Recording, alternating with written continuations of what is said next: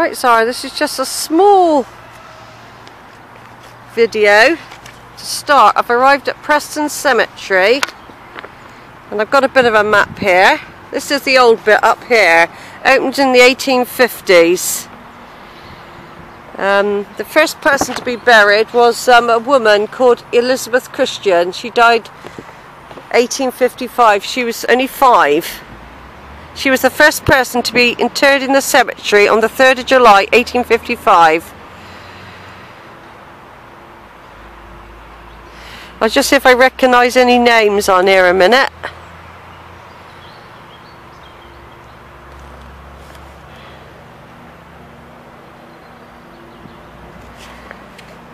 Yes, it's, it's a Preston Old Cemetery. Preston Old Cemetery Wildlife and Heritage Walk this is. So I'm just going to be doing a little video because this is massive apparently, absolutely massive. And I would need probably a year to be able to do it all. I've selected the old part straight away. Um, and it stretches for as long as the eye can see and this is just the old bit there's a road right right right right right right down the bottom which is a main road with cars going up and down. If you go across that there's the new bit which is equally as nearly as equally as big.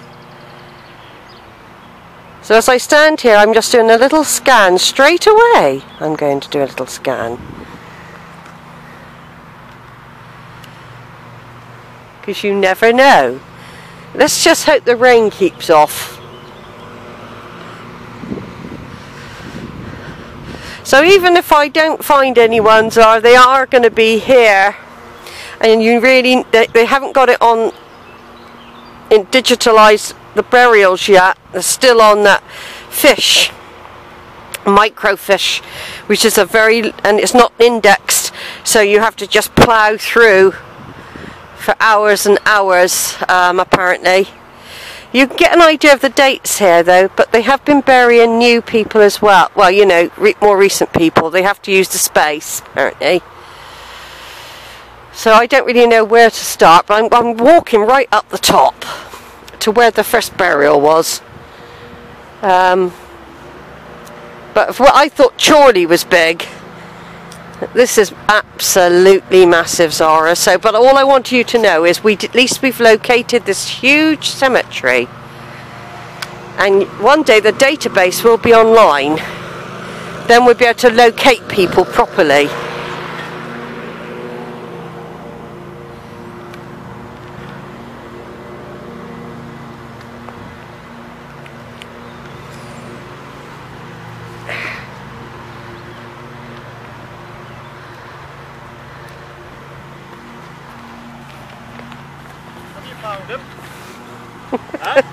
no, don't worry. I'm all right. Yeah, thank you.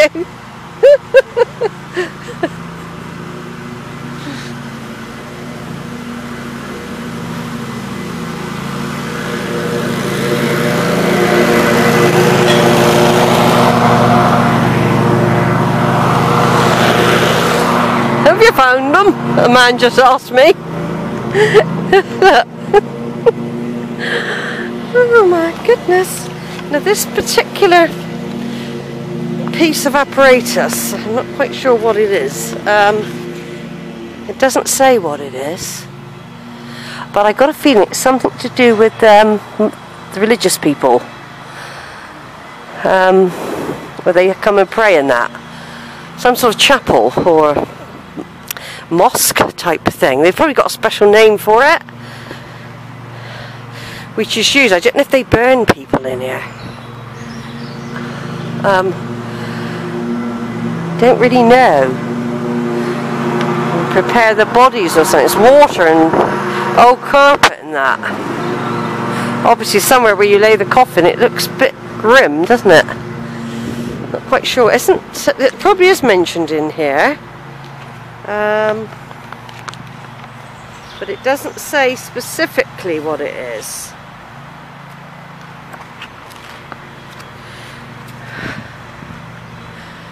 Right, so like I said, this is really a formidable task, Zara. And the fact that um, we haven't got anything online yet. They were talking about digitalising graves on telly last night on the One Show, where they put this this barcode thing on, quite big as well. So, and it, what it is, when you scan the barcode, it tells you about the person's life, if as much as they want to you to know. That is, um, you know, for example, what you achieved or anything like that.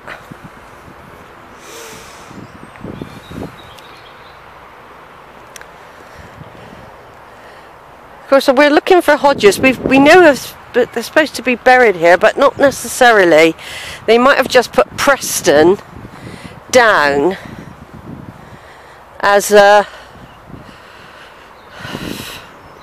a registration district. They could still have been buried in the villages. Um, and I, I, I, got a feeling I have found some. But of course, I'm not going to be able to go over to. Uh, I don't know if I'm going to go to Manchester. I, I really think it's going to be like driving through London, to be quite honest. It's going to be difficult. Preston's hard enough. Um, but it's just one road going through and one road going around the outside, even though it's a city. Um, you can get through. Um, I mean, I might still try it. Haven't decided yet.